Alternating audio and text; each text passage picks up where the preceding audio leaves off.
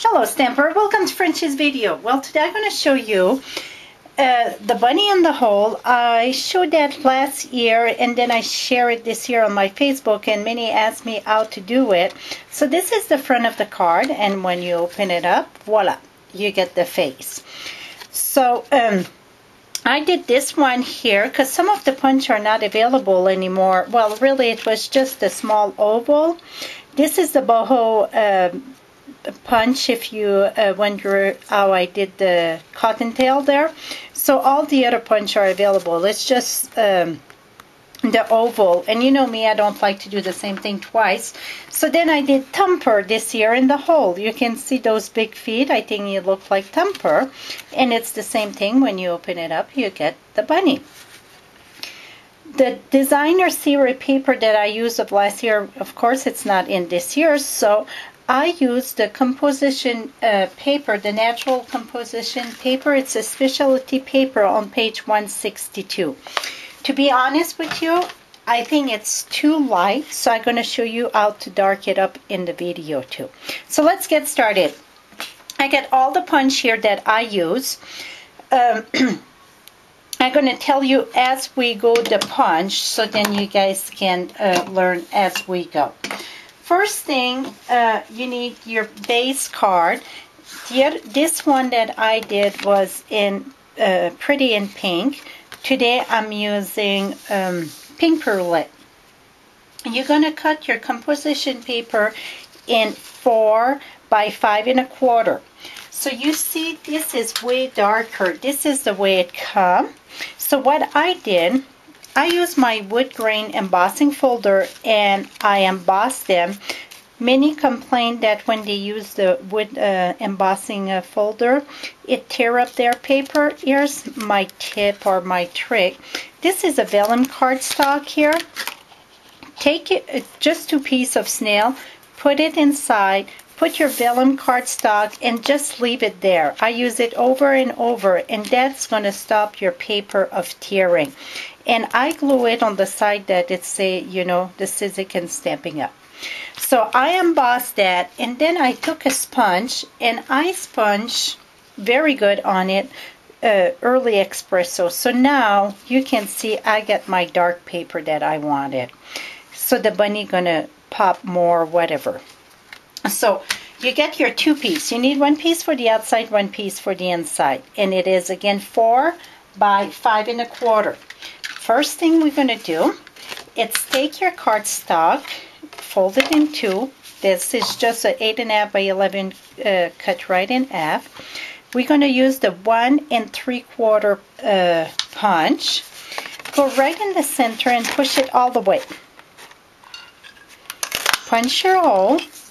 Now we're going to come and we could do differently and try to match it. For this way me my old match every time. So this is why I'm going to do it in three steps.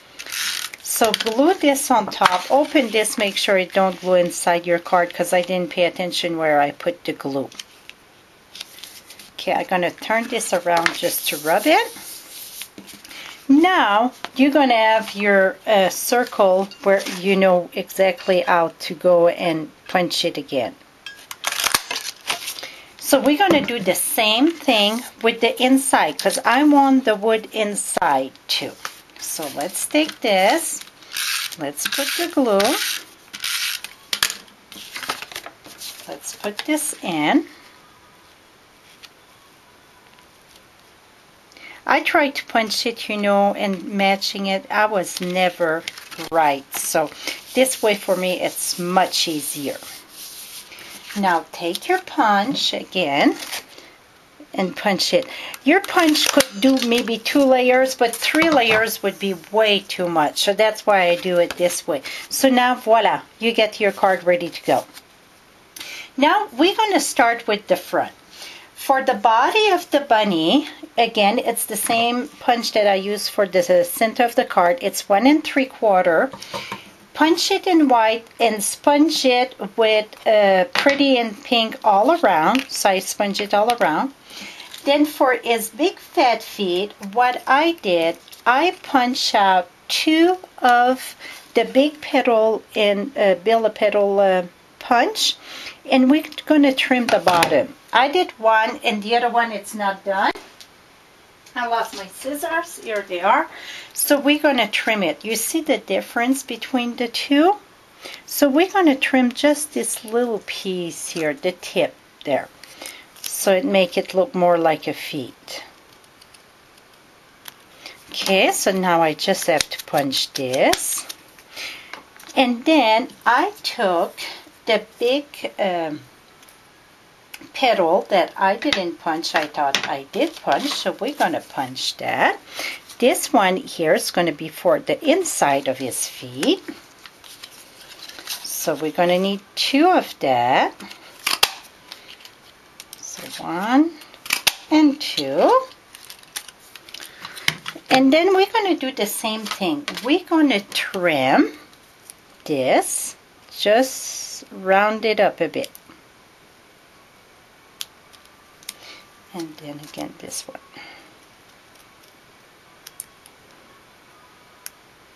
And then use your sponge dauber.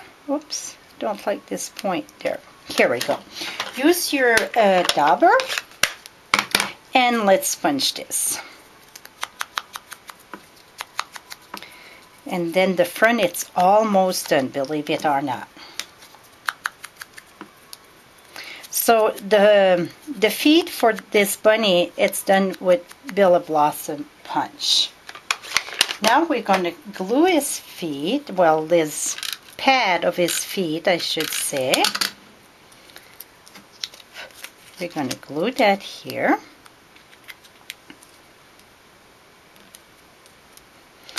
then the next one.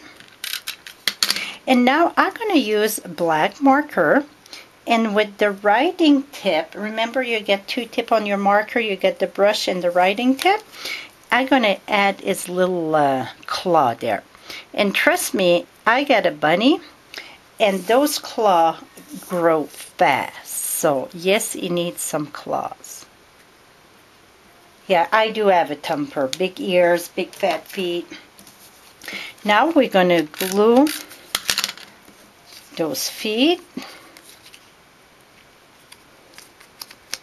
And there. And one here. So now its feet are in. When it's rounded more than the other, I wouldn't worry about that. Then make sure you don't put glue too much eye there because it's going to go in the hole. So I put more on the feet and just a little bit in the bottom. Then take this and I go about halfway in the circle. This seemed pretty good. Voila. We're going to put this tail at the end because I'm going to open that. We're going to work in the inside. Now for the inside, this is his face and I use the ornament punch so that's his face now for his cheek I use the three quarter uh, inch circle punch. And again this is all uh, sponge. I did that in advance so you guys didn't have to wait for me. The bottom last year I cut that. This year we're going to keep that. We're going to put a bow there. So just add the cheek. And the one that I did uh, last night, he look kind of angry. So I'm going to change his nose around and see if uh, that's going to change. For his nose, I use the single uh, heart punch. Going to punch that. And last year it was a different arts too. We don't have that punch anymore. So we can uh, get all the stuff that I'm showing you today. Now, we're gonna take this remember I said I'm gonna switch it the way that I'm gonna do it. Put that right there. Now for the eyes for the two little circle for the eyes I use the owl punch. And it's those two right there. So we're gonna need those two. Here we go. Now we're going to glue this. And this, I rather glue it with my glue dot that I thought I went to get but now I cannot find them. Maybe I went to get them and I didn't grab them. And then we're going to put his little eyes. One and two. Oops. Now I'm going to take my gel pen to his little eyes. Here he is looking on the side there. He looked kind of funny without his ears. Now for his ears, I use the large oval and I sponge them again. And then for the inside of his ear, I use my Blossom Punch again, because remember, we don't have that small oval anymore. And I use this petal. So for the bunny, we use them all except the tiny one. So we're going to glue that. This we don't need to trim because it's going to go in the back of his head. So just put that in your cent. Oops. It's going to go lower in the bottom. Don't worry about that because it's going to go in the back of his head, his ear. Then this one.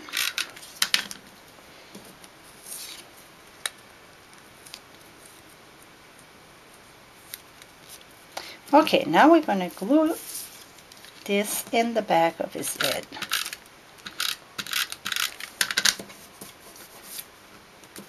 Here we go.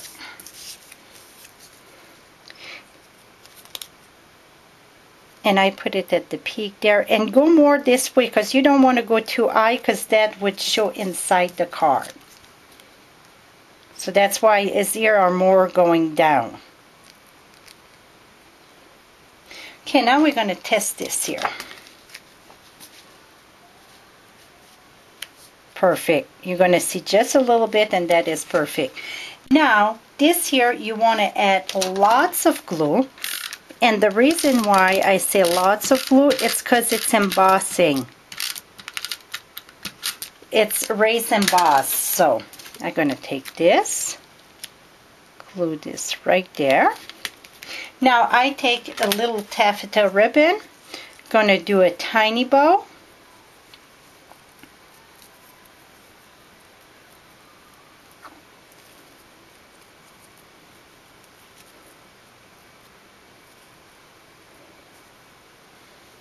This is perfect. Oh, my glue dot are right here beside me. I don't know what I was looking at, but they're right here.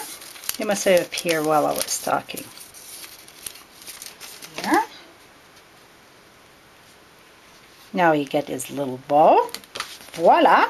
Oh, we forgot his face. For his face, I took again the brush, do just little dots here and there, and do his whisker.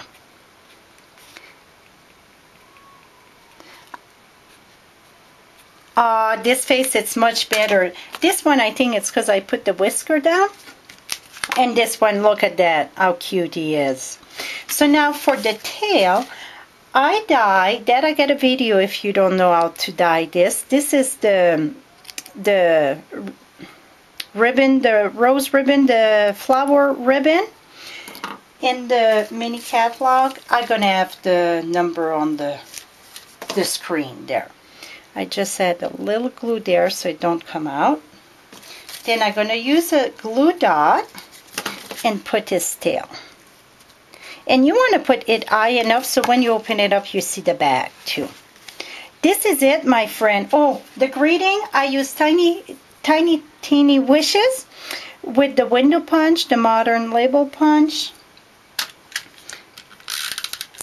And put my Happy Easter there. And voila see how pretty it is with darker? I really like it on the darker much better.